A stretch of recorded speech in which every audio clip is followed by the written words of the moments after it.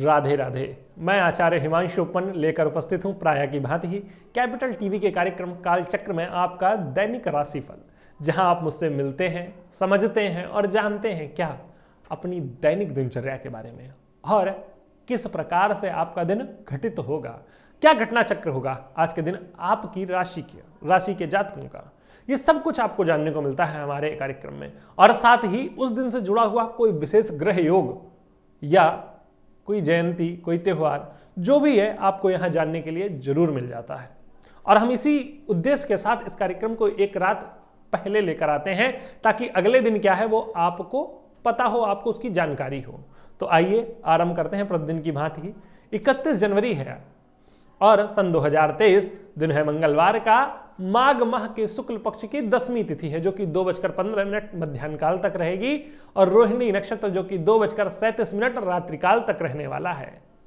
भगवान चंद्रमा वृषभ राशि में विचरण करेंगे, और, आज के दिन का जो राहु काल है वह तीन बजे से लेकर चार बजकर तीस मिनट तक रहेगा, और गुलिक काल नौ बजे से लेकर के दस बज के तीस मिनट प्रातः काल में रहेगा।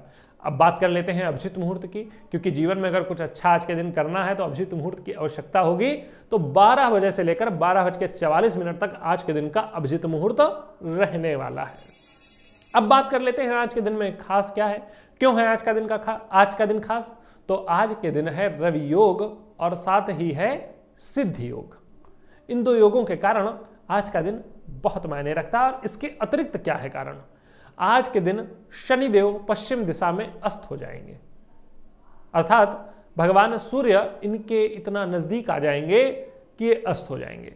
आपको प्रक्रिया समझनी होगी ये, कि भगवान सूर्य शनि के नज़दीक आएँगे, ये नासा ने बताना स्टार्ट किया या इसरो ने बताना स्टार्ट किया।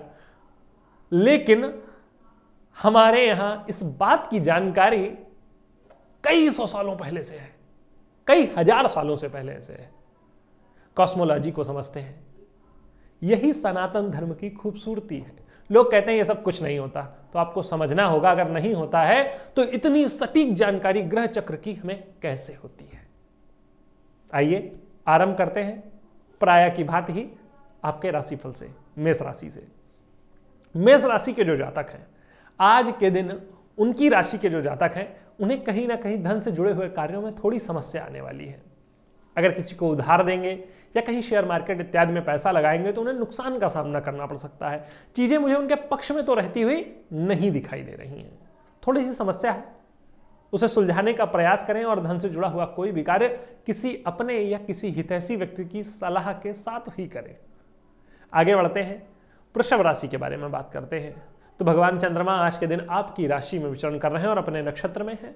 तो निश्चित ही आज के दिन अगर किसी राशि के लिए बहुत अच्छा समय है तो वो है वृषभ राशि।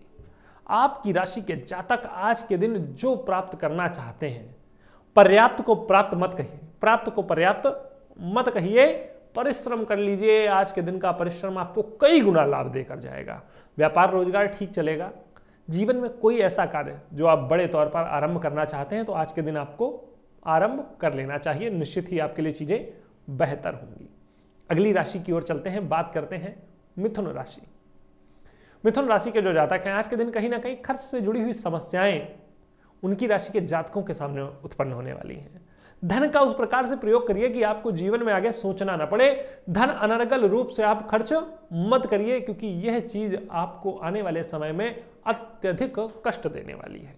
मुझे ऐसा प्रतीत हो रहा है आज के दिन। बात करते हैं कर्क राशि के जातकों के बारे में। कर्क राशि के जो जातक हैं, आज के दिन परिवार के साथ अच्छा समय व्यतीत होगा। पारिवारिक जन कहीं ना कहीं आज के दिन आपके लिए बहुत अच्छे विचार रखने वाले हैं और आपका सहयोग करने वाले हैं। अपनों का सहयोग आज के दिन मुझे आपको प्राप्त होता हुआ दिखाई दे रहा है और मन में प्रसन्नता की भी प्राप्ति होगी।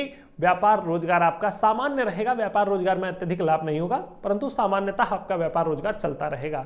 अगली राशि, सिंह के बारे में बात कर लेते हैं। सिंह राशि के जातक, आज के दिन आपको अपने व्यापार रोज़गार में अधिक समय देना चाहिए। न कि परिवार और इत्यादि में। मैं ऐसा क्यों कह रहा हूँ? क्योंकि मुझे आज के दिन अवसर दिखाई देते हैं आपके जीवन में व्यापारिक या रोज़गार तौर पर आगे बढ़ने के। तो ऐसे अवसरों को खोना नहीं चाहिए। जाइए अपने व्यापार रोज़गार में आज के दिन अत्यधिक परिश्रम करिए, निश्चित ही सफलता आपको ही मिलेगी। हाँ जीवन में थोड़े से उतार चढ़ाव ज़रूर आज के दिन आपके पारिवारिक जीवन में मुझे आते हुए दिखाई दे रहे हैं तो उनका सामना करिए। आगे बढ़ते हैं, बात कर लेते हैं कन्या राशि के बारे में। कन्या राशि के जो जातक हैं आज के दिन शारीरिक परिस्थितियों को लेकर कहीं ना कहीं आपकी राशि के जातक परेशान रहने वाले हैं। शारीरिक परिस्थितियाँ आपकी राशि के जातकों के लिए अति ही दुर्गम परिस्थिति उत्पन्न कर सकती हैं और विशेषकर उदर से जुड़ी हुई समस्या आपकी राशि के जातकों के लिए निरंतर बड़ा रूप लेती रहती है। और स्किन डिज़ीज़ ये एक दूसरी बड़ी समस्या होती है आपकी राशि के जातकों के लिए। तो इन दोनों से ही बचने के लिए आपको करना यही है भगवान नारायण का पूजन। यही आपको इन दोनों समस्याओं से बाहर निकालेगा। लेकिन वर्तमान दिन में रोगों से बचने के लिए आपको अपनी दैनिक दिनचर्या पर नियंत्रण रखना चाहिए, व्यापार रोज़गार सामान्य होगा। बात करते हैं अगली राशि तुला के बारे में। तुला राशि के जो जातक हैं, आज के दिन में दुर्घटनाओं के प्रति थोड़ा सा सचेत रहना होगा। आपके साथ तो दुर्घटना घटित होने के योग बन ही रहे हैं। आपके आसपास कोई घटना आपको प्रभावित कर सकती है आज के दिन। मुझे ऐसे भी योग दिख रहे हैं। तो थोड़ा सा आप सावधान रहें। अपनों को या अपने से छोटों को वाहन इत्यादि न चलाने दें। अगर आप साथ में हैं तो आप स्वयं कोशिश करें कि आप चलाएँ। अपने छोटों ने किसी बड़े को अगर आप दे सकते हैं तो दे दें, क्योंकि मुझे आपके लिए चीज़ें आज के दिन थोड़ी सी बेहतर नहीं दिखाई दे रही हैं। अगली राशि, वृश्चिक के बारे में बात कर लेते हैं। आपकी राशि के जातक आज के दिन सुख सागर में डूबने वाले हैं। आपका पारिवारिक जीवन बहुत अच्छा रहेगा। लोग आपके प्रति उदार भाव रखेंगे और साथ ही प्रेम से जुड़ा हुआ आपका कोई कार्य है तो पूरा हो सकता है। विशेषकर आपका जीवन साथी अगर आपसे रूठा हुआ है तो जाइए अपने जीवन साथी से बात करिए और समस्या को सुलझाइए, क्योंकि आज के दिन मुझे वो समस्या सुलझती हुई दिखाई दे रही है। बस आपकी एक पहल की आवश्यकता है। व्यापार रोज़गार आपका ठीक चलेगा। अगली राशि, धन के बारे में बात करते हैं। धनु राशि के जातक शारीरिक समस्या से आज के दिन निजात पाते हुए दिखाई दे रहे हैं। यह बड़ी समस्या है जीवन में। जिससे आज के दिन उन्हें राहत मिल सकती है। एक अच्छा मैं अगर कहूँ तो गलत नहीं होगा, एक अच्छा चिकित्सक आपकी राशि के जातक आज के दिन पा सकते हैं। और चिकित्सा आपकी समस्या का समाधान देने वाली है। तो निश्चित ही आपको प्रयास करना चाहिए अपनी समस्या को सुलझाने का। अगली राशि की ओर बढ़ते हैं, बात करते हैं मकर राशि के बारे में। मकर राशि के जो जातक हैं आज के दिन शारीरिक परिस्थितियों को लेकर आपको थोड़ी सी चिंताएँ ज़रूर करनी चाहिए, क्योंकि मुझे आपकी परिस्थिति आज के दिन बिगड़ती हुई दिखाई दे रही है। आप अतिरिक्त सावधान रहें और व्यापार रोज़गार में थोड़ा सा मन लगाएँ, क्योंकि आपके व्यापार रोज़गार में भी परिस्थितियाँ आज के दिन थोड़ी सी चिंताजनक हैं। उन पर भी थोड़ा सा ध्यान दें। अगली राशि की ओर चलते हैं, कुंभ राशि। कुंभ राशि के जो जातक हैं, आज के दिन मन का डर आपके काम को, आपके कल्याण को भी रोक सकता है। मैं काम को तो क्यों कह रहा हूँ? क्योंकि आपका व्यापार रोज़गार प्रभावित होगा, लेकिन आपका कल्याण, आपका जीवन ही आगे बढ़ने से रुक जाएगा, मन के डर के कारण।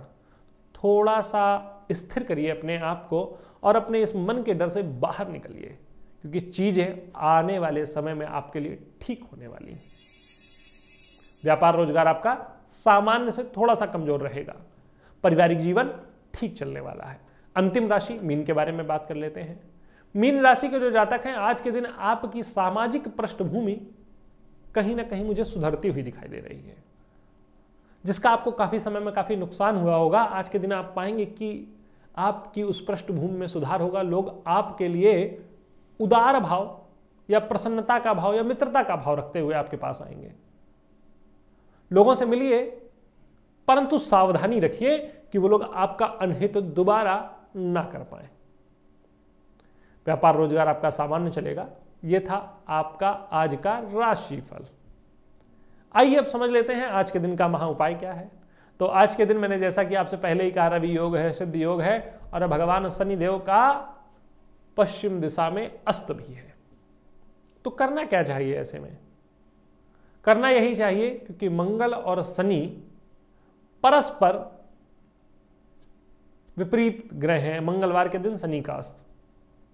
थोड़ा सा चिंता का कारण भी है। इसके कहीं ना कहीं जो दूसरे संदर्भ में मैं देख पा रहा हूँ, प्राकृतिक घटनाओं के घटने का एक दौर होगा ये। आज के दिन से या बीते कई दिनों से जो मैं पहले भी कह रहा हूँ, पंद्रह तारीख से लेकर 19 तारीख का ये जो समय होगा, ये प्राकृतिक घटनाओं से आरंभ करके अब आने वाले दिन में घटित होंगी, विशेषकर 15 फरवरी से लेकर 15 मार्च के बीच।